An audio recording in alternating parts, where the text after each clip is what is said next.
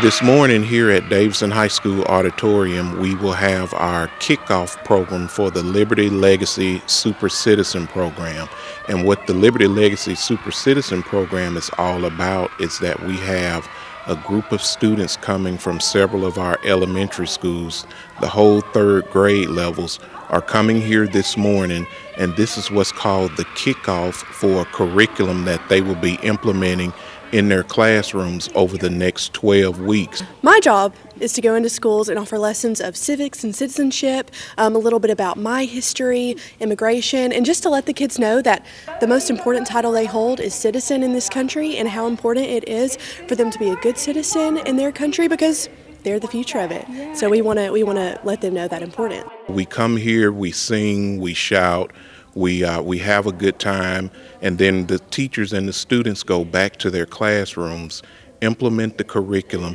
learning about citizenship,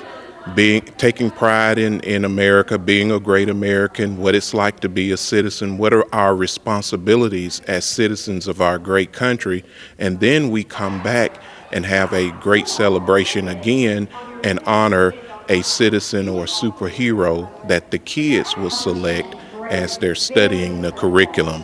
over the next 12 weeks. I think it's important for kids to be in a theater and experience a show, um, but it's just as important for them to learn. And sometimes kids learn best by, you know, not realizing that they are learning. And it's important for them to know that they are the future of this country um, and that they matter as people themselves, and that no matter who they are, their color, their shape, their size, they're important and they're all citizens and